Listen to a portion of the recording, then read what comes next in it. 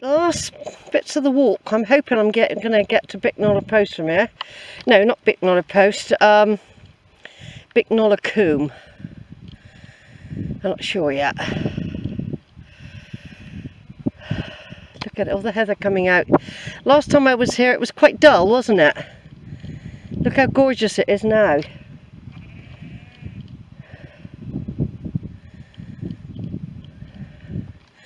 Look how gorgeous it is now. I'm just doing the last bit. It's still going. I just press a button and more, just quick, another quick boost. I'll check the time when I know I'm on the right track to Bicknoller. It will link up anyway. That's the Macmillan Way there. I'm sure this is it thing is because the cows are in the way I couldn't come out and find me track. So I've got to just pre presume this is one. I think it is. I've made mistakes before you see. At this stage in the game you don't want to make mistakes. It's very very hot. Um, and like I said I was down in the Coombe earlier and if I was doing the later time I'd still be two hours behind myself. I'd still be two hours behind. I think I can still link up with my my track from here though. I reckon I can.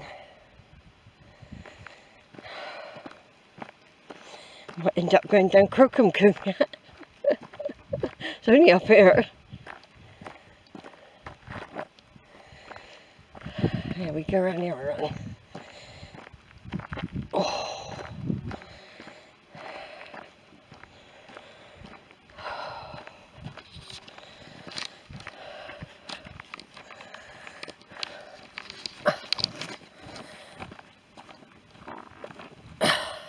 I probably wouldn't do much more now anyway, I haven't packed up because um, we've done Weacombe before very gorgeous so it's going to be even more glorious within the next month. It will continue to be very glorious.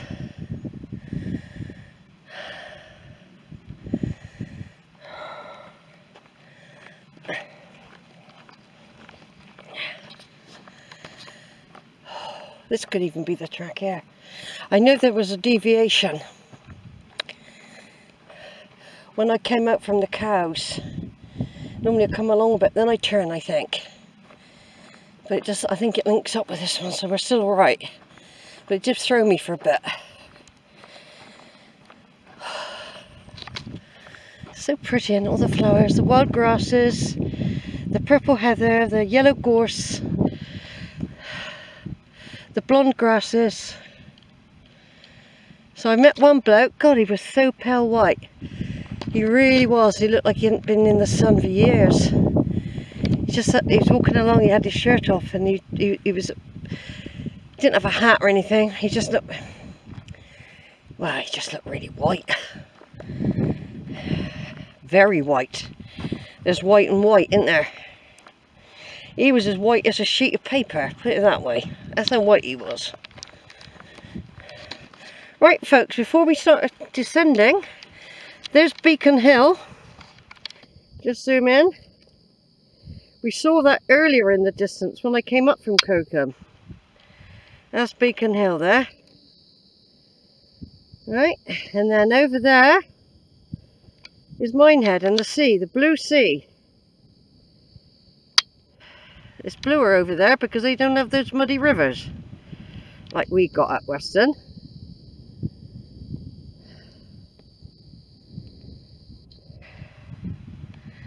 So basically I'll be going down there, then turning right and going down the Coombe.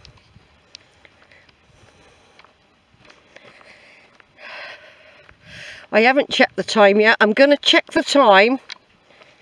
The very first tree I come to with some shade. I'm going to check the time. It's very, very hot. Now this is the, supposed to be in the cooler of the days.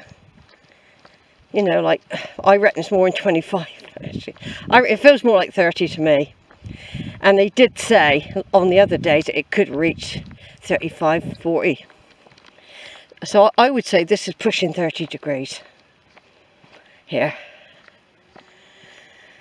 So, every now and again though, that cool breeze will come. Now you can cut across. If I wanted to go down the other way, I could cut across there now. But I'm not going to. I feel like going downhill. Going down Bicknoller Combe. I haven't been down it actually for a while. So, Crowcombe is course right over that hill. We've done a great big loop.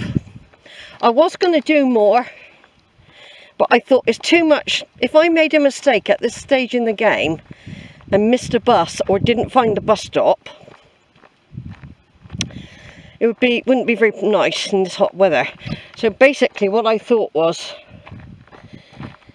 when I come over again I'll get off at the next stop up from the Bicknoller post, at the Bicknoller village.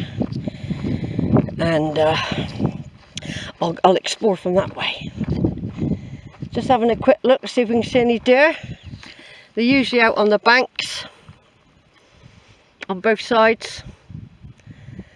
I did see two that leapt and followed me by a stream for a short period. Only for a short period and then he disappeared young deer, very young, very they look very healthy. Right, I'm just going to turn off, take some photos now, folks. I don't know if I'll come back on again because um, the camera probably die. Here we go. Down Bicknoller Combe. Lots of sheeps wisely under trees. Um, I thought the camera had finished then and then um, don't think I left anything there did I? I sometimes it's worth going back to check you never know uh, what's that there is that just a lump yeah I had a bit of cheese and tomato then and a nice gulp of water so I've still got an oat bar and a packet of cheese nuts anyway I think that's enough for today. I, I think I could have done Weacombe, um, but I think no.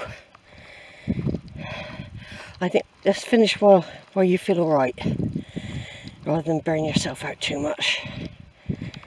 And little sheep there, he's going to have to move. Look at him, oh bless him. He's getting up and he's in a nice cosy place. He could do with a short, bit more shearing. Anyway, I've decided to get the half past three bus. That'll get me back for four o'clock. I might catch, I might miss a bus, a train, I might not, I don't know. Um,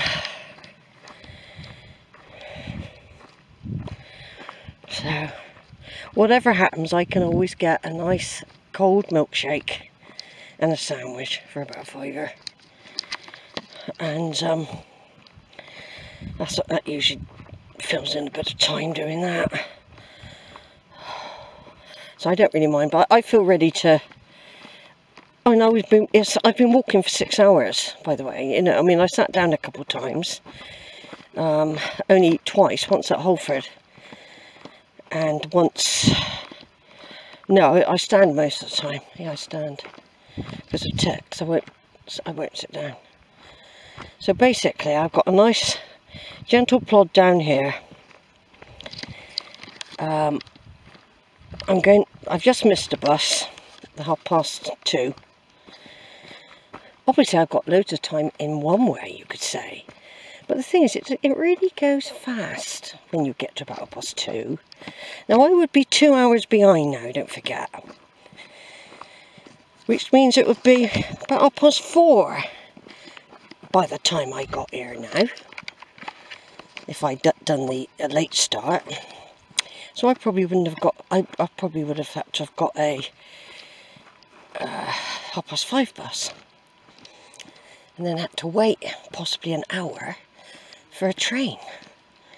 when I got to Taunton. So I'm still glad. I, I know I had to pay the extra seven quid. But the thing is, it did get me out here earlier.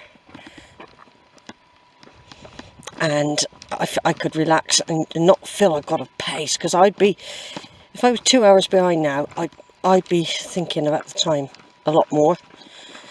And uh, whereas here, I can plod along knowing I've got time to get the half past three bus and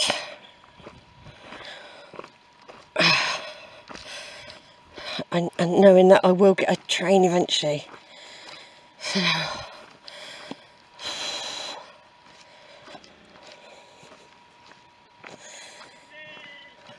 Ooh, little ballam. So what I'm doing, I'm just videoing as I go because this little battery charger seems to be keeping the camera rolling for a lot longer. Well, I'm going to do pictures now, but I'll be rolling on down until I get to the stream at the bottom and then making my way down through the village. And I've got the other camera if I just want to do any more, but this might be enough for today. I've been walking for six hours.